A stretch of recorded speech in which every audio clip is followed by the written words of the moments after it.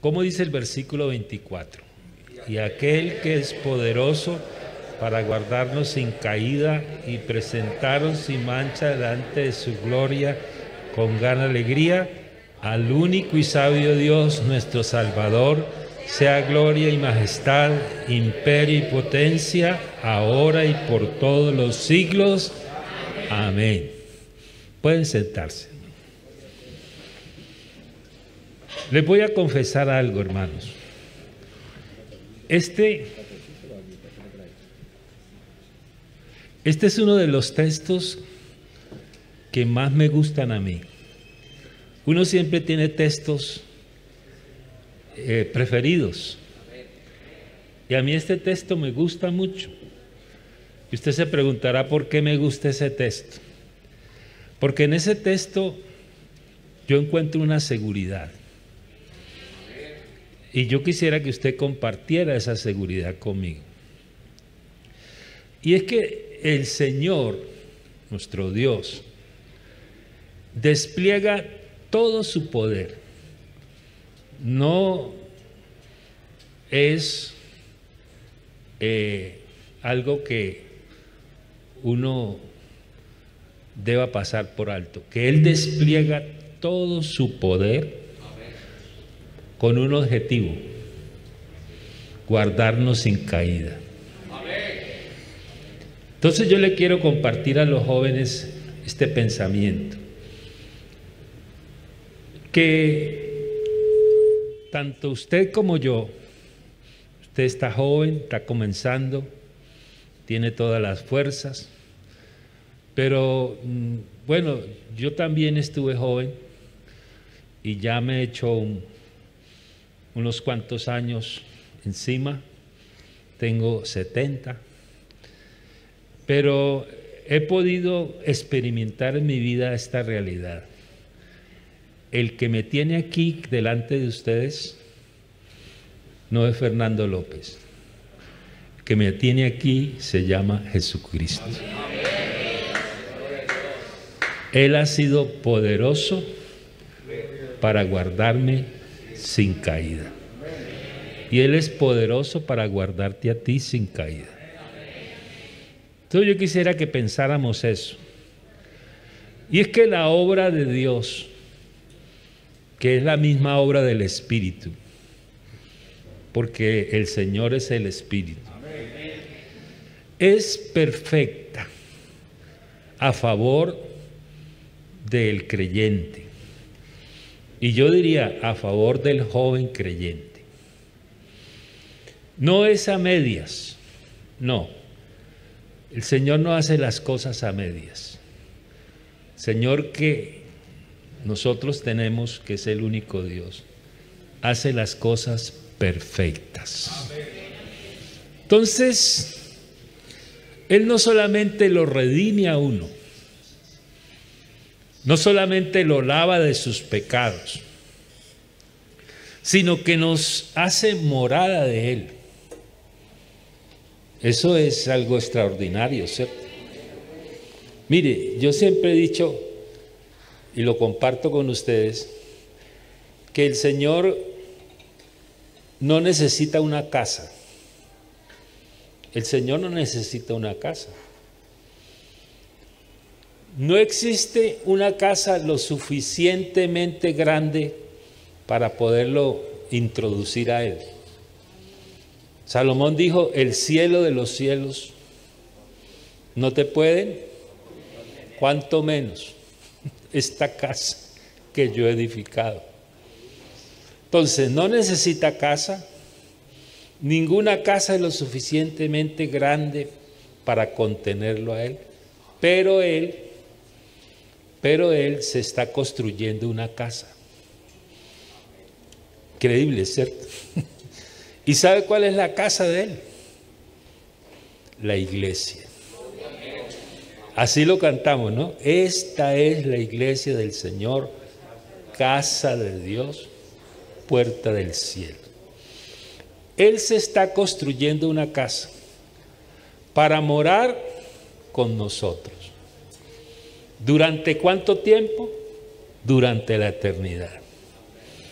Entonces, no solamente nos redime, es decir, pagó el precio por nosotros, no solamente nos lavó de sus pecados, sino que además nos ha hecho su casa. Nosotros somos una casa colectivamente hablando, pero también somos una casa individualmente hablando. Usted joven que está ahí sentadito, usted es casa de Dios. ¿Cierto? Porque nosotros somos el templo del Espíritu Santo. Pero como dije que el Señor no hace las obras a medias, Él no solamente nos perdona, sino que nos concede el vivir no una vida derrotada, no, de vivir una vida en victoria. Para vivir en victoria es necesario vivir en el Espíritu. Por eso el título de esta enseñanza es ese, la vida en el Espíritu. Y fíjese que hay textos que le aseguran a uno esta gran realidad. La Biblia dice, estando persuadido de esto, ¿de qué está convencido Pablo? De que el que comenzó en ustedes jóvenes la buena obra, el que la comenzó, la perfeccionará. ¿Hasta cuándo? Hasta el día de Jesucristo. Y mire hermanos, ustedes son líderes de jóvenes, muchos, otros hacen parte de el grupo de los jóvenes locales. Ustedes se han dado cuenta conmigo que hay jóvenes cristianos que no viven en victoria. Eh, que no viven en el Espíritu. Pero yo quisiera que esta mañana Dios me ayudara para comunicarle a ustedes qué es vivir en el Espíritu y cómo. Porque a veces predicamos el qué, pero yo creo que ustedes no solamente necesitan saber el qué, ustedes necesitan saber el cómo. Porque usted me puede decir, bueno, esto está muy bonito, pero ¿y cómo yo? ¿Cómo hago yo? ¿Qué, ¿Qué, es mi participación? ¿Cómo vivo en el Espíritu? Porque es que hay una realidad hay dos formas de vivir un cristiano. Un joven cristiano tiene dos formas de vivir. Número uno, bueno, la nombro de primero, pero no es que sea la más relevante. Tiene dos opciones, o vivir en la carne, o cuál es la otra? Vivir en el Espíritu. Póngase en un 10. Han contestado muy bien. Entonces tiene esas dos formas de vivir. Y uno escoge la forma de vivir. Yo quiero decirle, hermano, joven, que una de las cosas que Dios hizo cuando creó al hombre fue darle la capacidad de decidir. Y Dios respeta la decisión de una persona. Dios es el ser más déjeme decirlo así, más caballeroso que existe. Él respeta la voluntad de una persona. La única puerta que el Señor no derriba es la de la voluntad. La Biblia dice, yo estoy a la puerta y llamo. Y no dice que tumba la puerta, ¿cierto? Dice, si alguno oye mi voz y abre la puerta. Entonces, ¿quién es el que abre la puerta? Yo soy el que abro la puerta. Él no la tumba. Él podría tumbarla. pero no la tumba, respeta. Si alguno oye mi voz y abre la puerta, entraré a él, cenaré con él y él conmigo. Por eso es que Adán y Eva tomaron una mala decisión. Ellos tenían la capacidad de decidir. Algunos dicen, bueno, y si el Señor sabía que iban a, a fallar, ¿por qué, ¿por qué lo permitió? No, es que el Señor creó al hombre a su imagen y semejanza. Y una de las cualidades que tiene el Señor es la capacidad de decidir. Él decidió salvarnos y nos salvó. Eso fue una expresión de su voluntad. La Biblia habla de la voluntad de Dios. Él dijo, quiero salvarlos. Y se fue hasta Jerusalén, fue crucificado, fue sepultado, resucitó. Y la máxima expresión de la voluntad de Dios uno la encuentra en la obra del Calvario. Quiero salvar. Entonces usted y yo podemos decidir la forma en que vamos a vivir. O vivimos en la carne o vivimos en el Espíritu. Y usted me dirá, hermano Fernando, ¿y cómo sé yo si vivo en la carne o si vivo en el Espíritu? Muy sencillo. La Biblia dice que manifiestas son las obras de la carne. Es decir, es una manera de uno saber cómo está viviendo. ¿Cuáles son las obras de la carne? El adulterio, ¿Cuáles son las obras de la carne? La fornicación. ¿Cuáles son las obras de la carne? La inmundicia. ¿Cuáles son las obras de la carne? La laxivia. Y si usted mira todo esto, esto es lo que promueve la pornografía. La pornografía promueve el adulterio, la fornicación, la inmundicia y la laxivia. Entonces un joven adicto a la pornografía es un joven que vive en la carne. Así de sencillo. ¿Sí? Las envidias son obra de la carne. Odiar al hermano, o sea, los homicidios, porque el que aborrece a su hermano es homicida, ¿cierto? Las orgías. Ah, oiga, los pleitos, obra de la carne. Los celos, obra de la carne. Las iras, obra de la carne. Las contiendas, obra de la carne. Las disensiones, obra de la carne. Entonces, la Biblia sí es muy clara para decirnos cómo es la vida de alguien que ha decidido vivir en la carne. Pero aquí no estamos para otra cosa que para tomar la mejor decisión. La mejor decisión suya y mía, porque esto no es para ustedes solamente, esto es para mí también. La mejor decisión que yo puedo tomar hoy es vivir en el Espíritu. ¿Estamos de acuerdo? Porque alguien dijo que en el corazón del hombre es una figura literaria. En el corazón del hombre hay un trono. En todo corazón del hombre hay un trono. Y en ese trono solo hay lugar para uno. En ese trono no caben dos, para uno.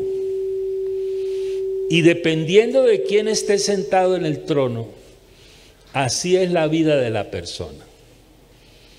¿Quiénes se pueden sentar en el trono? En el trono se puede sentar Fernando López.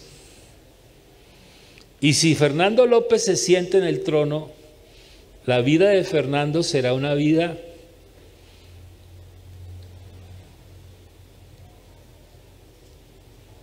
en la carne. Pero si en el trono del corazón de Fernando López está sentado no el yo, sino el gran yo soy, la vida de Fernando López será diferente.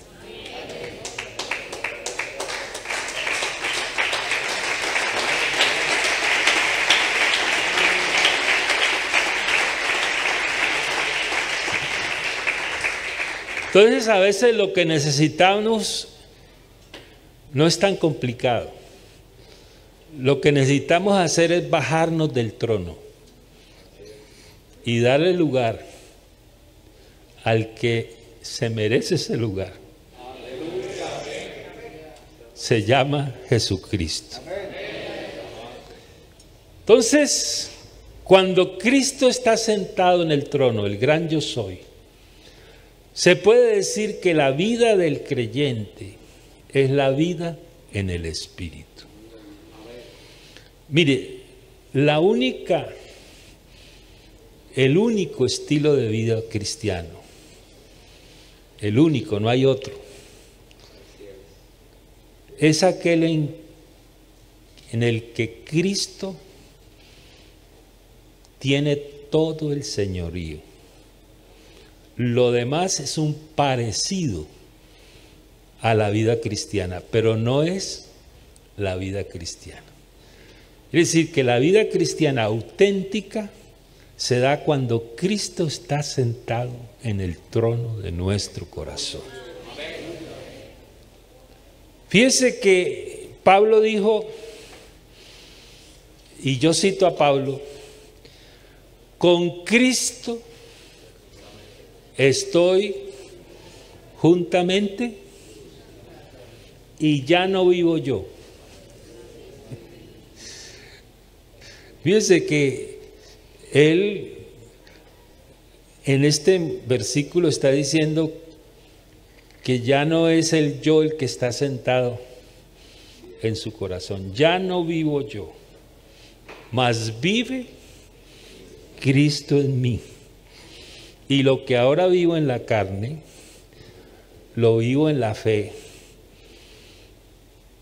del Hijo de Dios, el cual me amó y se entregó a sí mismo por mí. Entonces, la única manera de desplazar las obras de la carne es vivir en el Espíritu. Y cuando usted vive en el Espíritu, usted da fruto del Espíritu. Dice que la, la Biblia no habla del fruto nuestro, habla del fruto del Espíritu. ¿Y cómo sabemos que una persona da fruto? ¿Cuáles son las características de una persona que da fruto? Número uno es una persona amorosa. Número dos es una persona gozosa. Número tres es una persona pacificadora. Número cuatro es una persona paciente. Número cinco es una persona bondadosa. Número seis es una persona benigna. Número ¿qué? Siete. Es una persona mansa. Número ocho. Es una persona fiel. Y número nueve, es una persona que se controla a sí misma. Entonces, ese no es el fruto nuestro. Aquí no hay lugar para enorgullecernos. Aquí el único que merece la gloria se llama Jesucristo.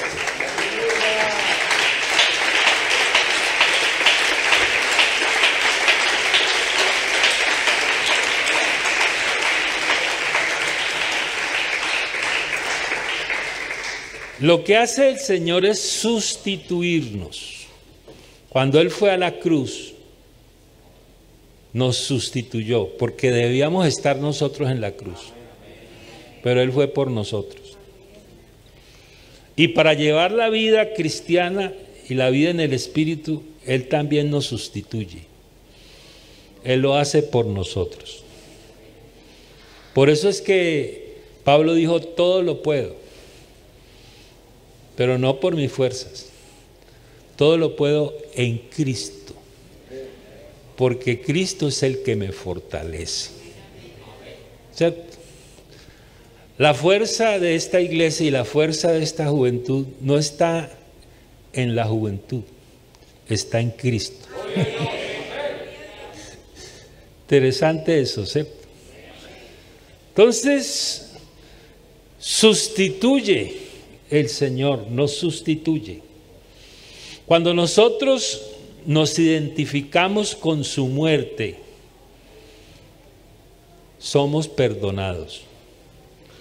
Y cuando nos identificamos con su resurrección, somos victoriosos. Entonces, aquí no se trata solamente de que seamos perdonados. Aquí se trata también de que seamos victoriosos. Usted me preguntará, ¿será posible para alguien vivir la experiencia del perdón y que a la vez no pueda vivir en victoria? Y yo le digo, es posible. Porque hay muchos jóvenes en la iglesia a los que Dios ha perdonado, pero no viven en victoria. Y aquí se trata no solamente de ser perdonados, aquí se trata también de vivir en victoria. Entonces, yo puedo ser perdonado, pero a la vez me puede dominar el pecado. La Biblia dice, despojémonos de todo peso. ¿Y cuál es el peor peso? El pecado que nos asedia. Porque hermano, cuando uno está en pecado uno siente un peso. No sé si usted experimentó eso. ¿Cierto? Es un peso. Y cuando uno el Señor lo perdona, uno se siente livianito. Sí. Entonces, esa experiencia que hemos vivido, porque nosotros le hemos fallado al Señor muchas veces, pero el Señor es el Señor de las segundas oportunidades. Si Él no fuera el Señor de las segundas oportunidades, este salón estaría desocupado no habría ni predicador. no habría predicado. Pero aquí estamos porque el Señor nos ha dado segundas oportunidades.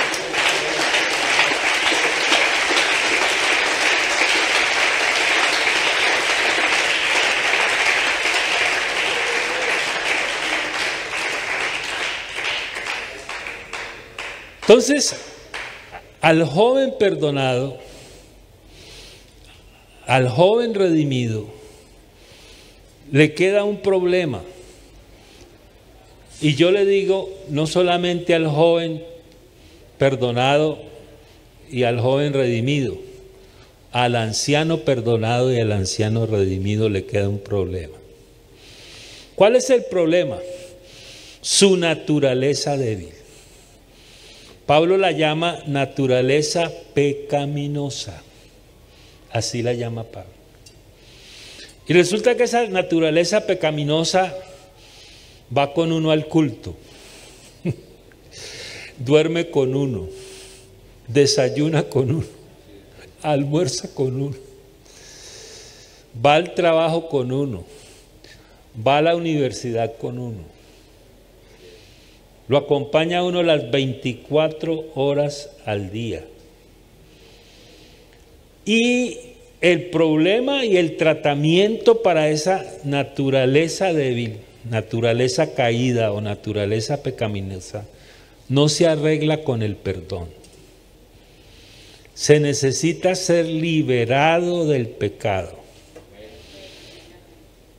Entonces, la única manera de vencer esa naturaleza pecaminosa que la naturaleza pecaminosa es como una fuerza que nos lleva hacia abajo. ¿Sabe cómo la llama Pablo? La ley del, del pecado. Así la llama él, ¿cierto? La ley del pecado y de la muerte nos lleva hacia abajo. La naturaleza débil de nosotros, inclinados a hacer lo malo. Esa está en todo ser humano, en el miembro del consistorio, en el directivo distrital, en el presidente de los jóvenes, en el tesorero, bueno, el finanzas es que se llama ahora, ¿cierto? Todos. Pero hay otra ley que anula esa ley del pecado y de la muerte. ¿Y sabe cómo se llama esa ley? La ley del Espíritu de vida en Cristo Jesús. Entonces, la gravedad nos tiene los pies en la tierra. Esa es una fuerza, una ley, la ley de la gravedad.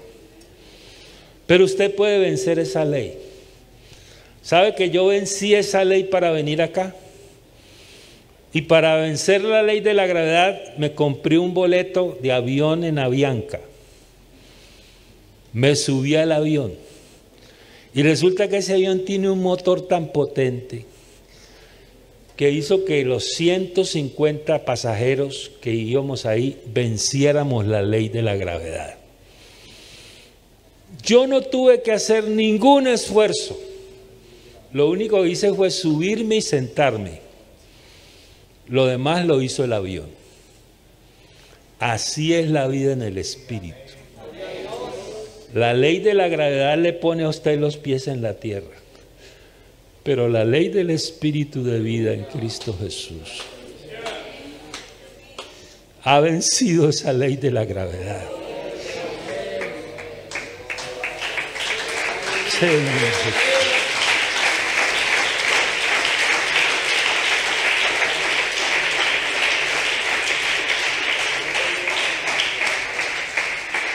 Y es interesante eso de que yo no tuve que hacer ningún esfuerzo, porque hay jóvenes esforzándose por vivir en el Espíritu. Pero para vivir en el Espíritu no hay que esforzarse. Para vivir en el Espíritu hay que subirse al avión. Usted me está entendiendo la analogía, ¿cierto? Y nosotros podemos vencer la ley de la gravedad porque yo estoy en Cristo y Cristo está en mí. Entonces, eso es lo que la Biblia llama vida en abundancia. El ladrón vino para qué? matar, robar y destruir. Pero yo he venido, dijo Jesús, para que tengan vida. Y no cualquier vida. Vida en abundancia. La vida en el Espíritu es la vida en abundancia. Hay personas que tienen vida, hablando de jóvenes creyentes, pero ¿qué les hace falta? vida en abundancia.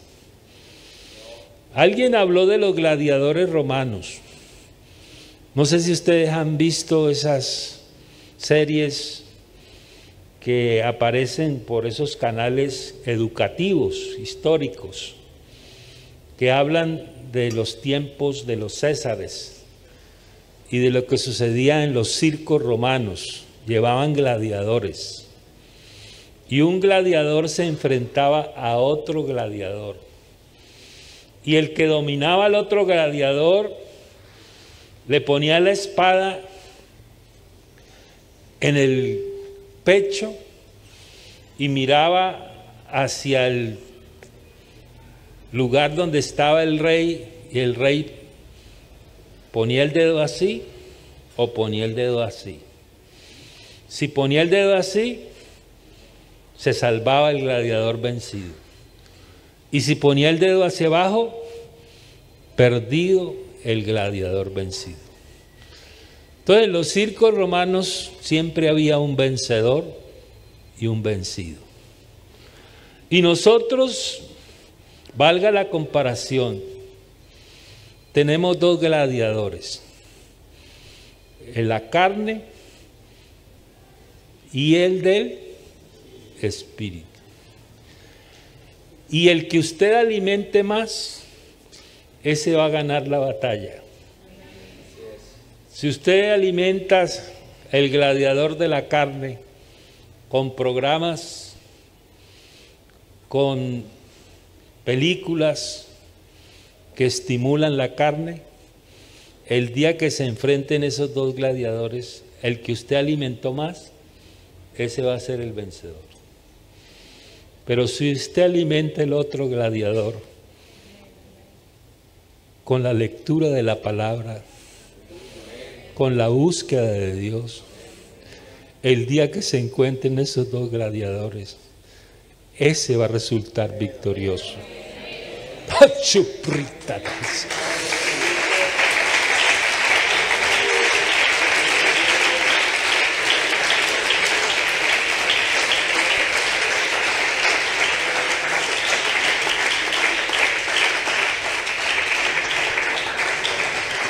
La vida del joven cristiano, la vida del joven cristiano no debe ser un círculo vicioso. Y usted me dirá, hermano Fernando, ¿qué quiere decir cuando habla de círculo vicioso? Le voy a decir qué quiero decir. Círculo vicioso es peco, me arrepiento. Peco, me arrepiento. Peco y me arrepiento. Y siempre peco en lo mismo.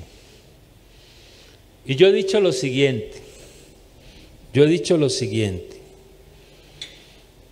yo he dicho lo siguiente, si yo salgo de mi casa y me tropiezo con una piedra al salir de mi casa, hoy, y mañana vuelvo a salir de mi casa y me vuelvo a tropezar con la misma piedra.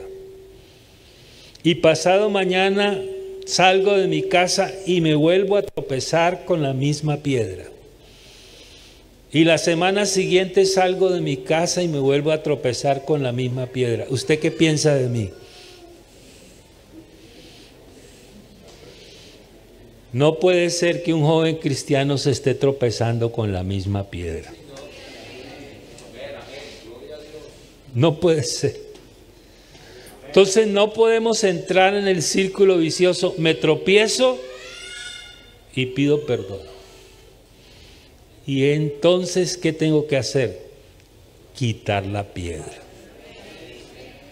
Y quitar la piedra es la vida en el Espíritu. Entonces, el perdón de los pecados no soluciona el problema. Lo que soluciona el problema es la vida en el Espíritu.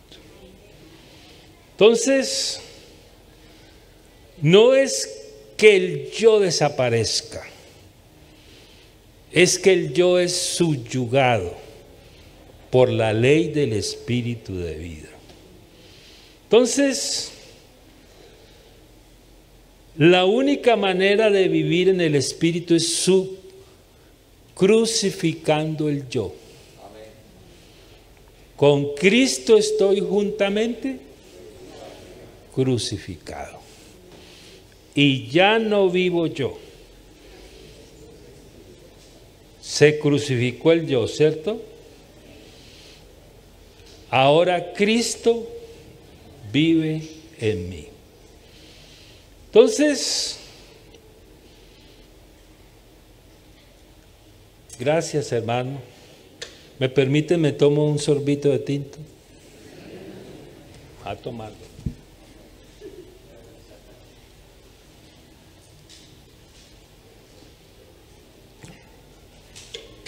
Entonces seguimos preguntándonos,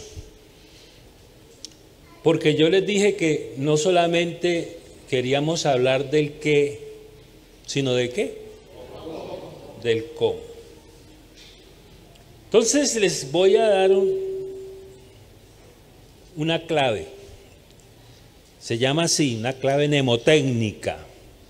Cuando digo mnemotécnica es una estrategia para no olvidar. Entonces, les voy a hablar de las P de la vida en el Espíritu. La letra P de la vida en el Espíritu. Entonces, ¿cómo vivir en el Espíritu? ¿Cuál es la primer P? La primer P es la de un verbo que se llama, o lo enuncio aquí delante de todos ustedes. El primer verbo es permitir. Permitir. Cuando yo digo permitir, es darle lugar a que sea el Señor el que gobierne el timón de mi vida. ¿Cómo era que cantábamos, hermano? Yo quiero que gobiernes mi vida. Usted y yo tenemos que darle el control a Dios. Aquí el control no podemos manejarlo nosotros. Aquí el control lo tiene que manejar Dios. Entonces lo primero que usted tiene que hacer es permitirle al Señor tomar el control. Permitirle al Señor tomar el control. ¿Sabe que nosotros elaboramos una enseñanza que titulamos el señorío de Cristo. Así la titulamos.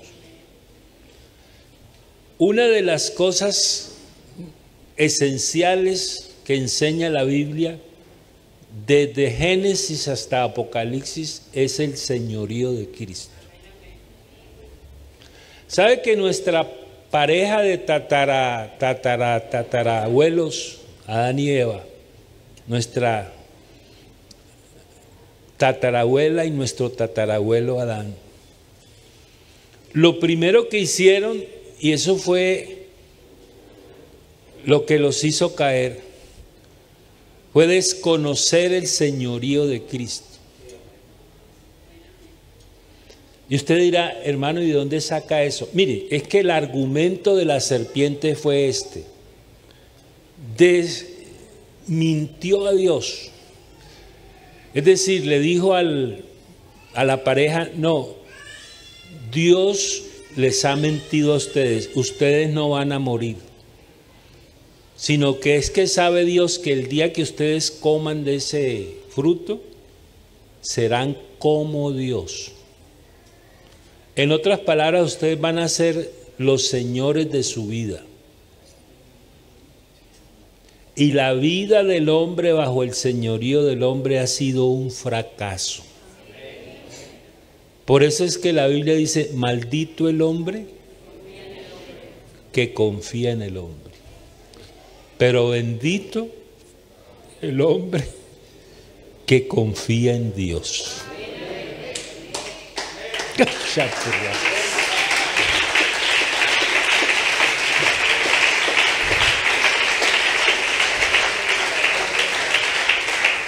¿Sabe que los ángeles que anunciaron el nacimiento del Señor Jesús reconocieron el señorío de Él?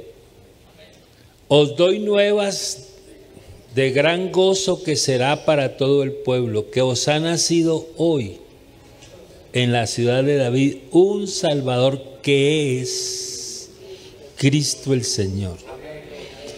Cuando Pedro predicó el primer sermón en Hechos 2, ese sermón era un sermón completo, con introducción, con desarrollo y con aplicación. Como un avión que despega, vuela y aterriza. Pedro despegó, voló y aterrizó. Pero ¿cómo aterrizó su sermón? Él dijo, este Jesús, a quien vosotros crucificasteis, Dios le ha hecho Señor y Cristo. Y eso fue que lo que hizo que ellos preguntaran, ¿y qué haremos? Eso arrancó en ellos la pregunta, ¿qué haremos?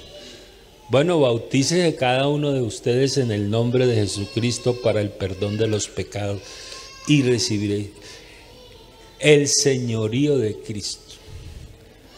Y Pablo dijo, esta es la palabra de fe que predicamos. ¿Y cuál es la palabra de fe que predicamos? Que si confesares con tu boca que Jesucristo es Él y creyeres en tu corazón que Dios le levantó de los muertos, ¿cuál es el resultado? Serás salvo. ¿A quién estamos esperando que regrese de nuevo? Al Señor. Recibiremos al Señor en el aire. Y estaremos siempre con el Señor. Bendito sea el nombre de Dios.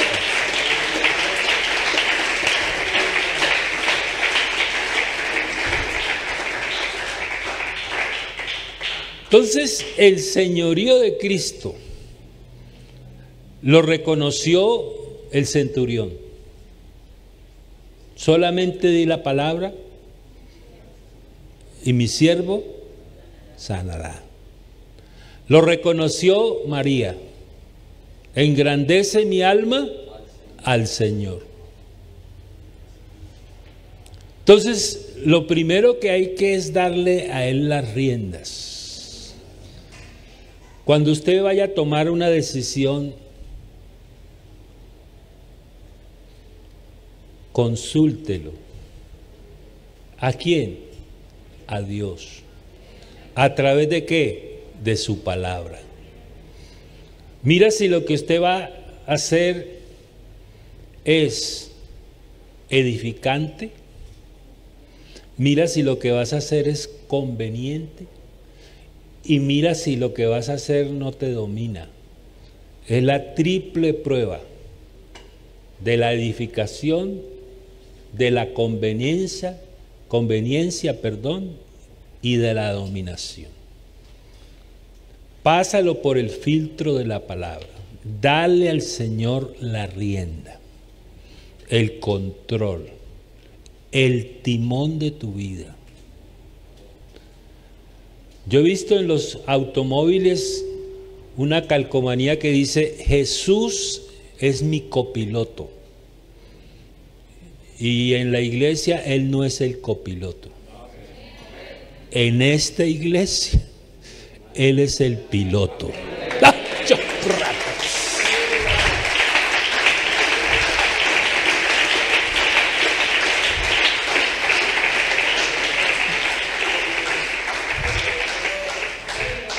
Entonces, ¿cuál es el primer verbo? Permitir que Él tome el control. Yo me confieso ante ustedes, yo no hago ningún negocio sin antes consultarlo con el Señor. Y los creyentes casi siempre vienen al pastor a que les arregle el problema. ¿Y cuál fue el problema? Que no consultaron. es el primer problema. Entonces, el primer verbo, ¿cuál es? Permitir. Primer, segundo verbo, permanecer. Permanecer. ¿Cómo fue que el Señor le enseñó a sus discípulos en Juan capítulo 15 a través de una metáfora? Yo soy la vid y ustedes son los pámpanos. Qué buena figura, ¿cierto? ¿Y qué fue lo que más enfatizó el Señor? Permaneced en mí y yo en vosotros, porque separados de mí, oiga, tremendo, es una frase excluyente, nada es nada. Y esa es una una clave de la vida cristiana. Usted y yo lo que tenemos es que permanecer. Si la rama permanece en el árbol, la rama da fruto.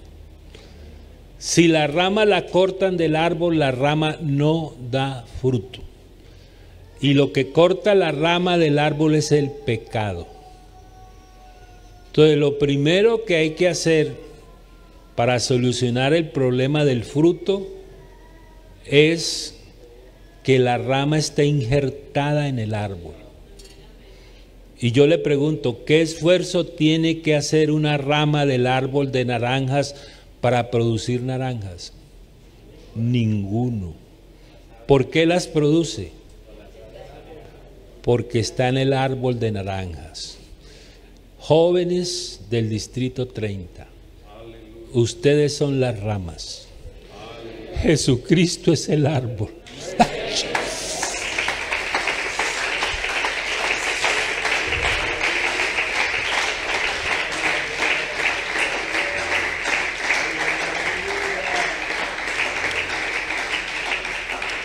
Si usted quiere dar fruto, permanezca.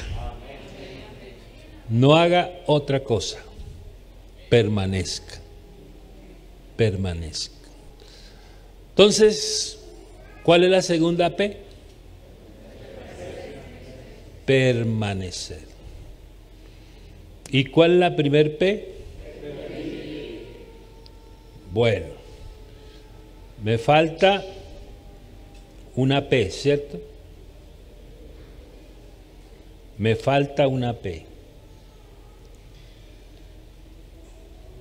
¿Y cuál será la, la tercer P? ¿Cuál creen ustedes que es la tercer P?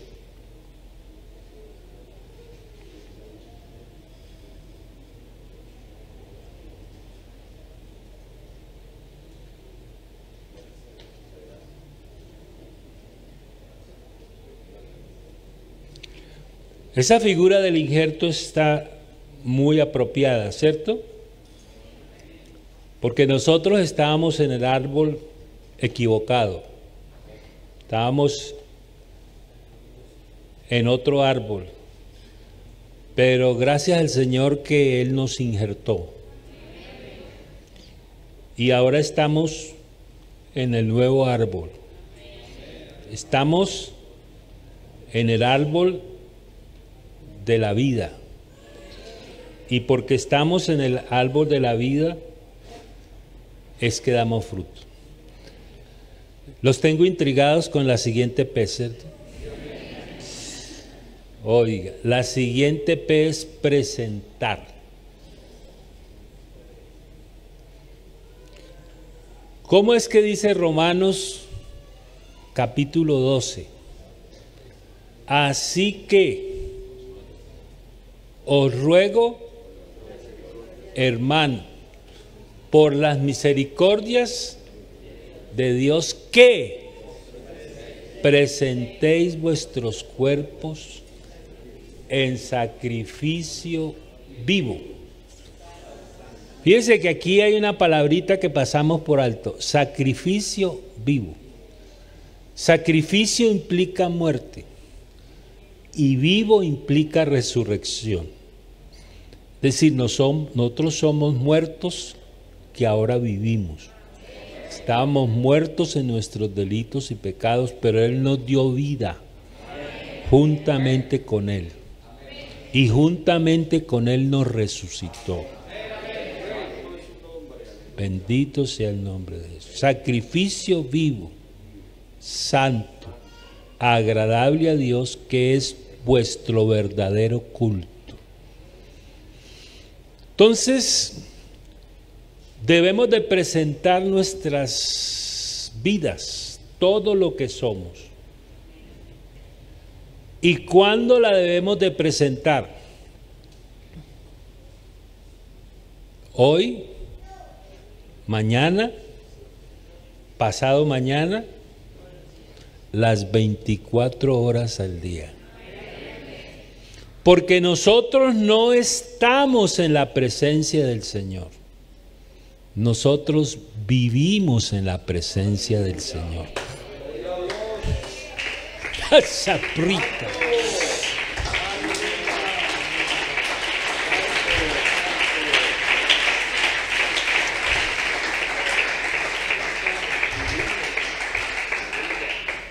Y usted me dirá, ¿y cómo así? ¿Qué diferencia hay entre estar y vivir? Bueno, que estar denota temporalidad, pero vivir denota permanencia. No es lo mismo que usted le diga a su novia o a su esposa que está fea, porque si le dice que está fea, ella se arregla. Pero si le dice que es fea, ya no tiene arreglo.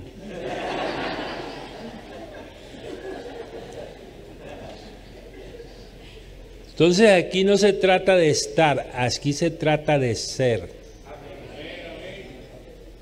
Y el Señor le dio mucho énfasis al ser. Vosotros sois la luz del mundo. Y como somos la luz, alumbramos. Usted no tiene que esforzarse por alumbrar, usted sea luz.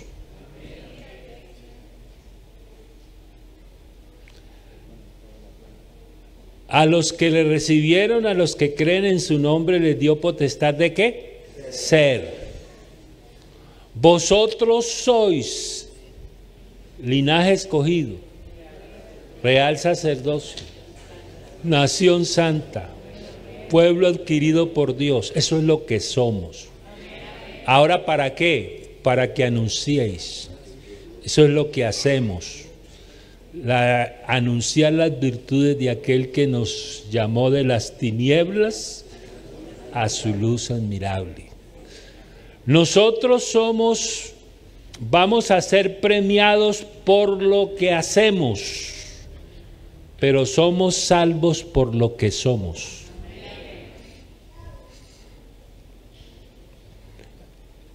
Eso se llama salvación y galardón. El galardón es por lo que usted hace, pero la salvación no es por lo que usted hace, la salvación es por lo que usted es. El reto de todo joven cristiano es conciliar lo que es con lo que hace. Porque si no concilia lo que es con lo que hace, está en problemas y yo también. El que sabe hacer lo bueno y no lo hace, ¿qué dice la Biblia? Es pecado. Y el que vive en la carne está en pecado. Pero el que vive en el Espíritu está en paz con Dios.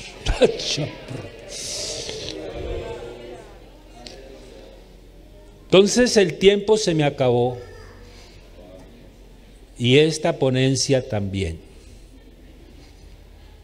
Pero solo les quiero decir a estos jóvenes, tomemos la decisión, la mejor decisión es vivir en el Espíritu. ¿Y cómo vivo en el Espíritu? permitiendo, permaneciendo y presentando. Se las conjugué en gerundio. Y usted me dirá, ¿y para qué las conjugó en gerundio? Es que el gerundio es una forma verbal que indica que la acción comenzó, está en proceso y no ha terminado. Enseñándonos, dice la, carta de, Pablo a Tito, enseñándonos, gerundio, que renunciando, gerundio, a la impiedad, a los deseos mundanos, vivamos en este presente siglo sobria, justa, piadosamente, aguardando, gerundio, la manifestación gloriosa de nuestro gran Dios y Salvador Jesucristo.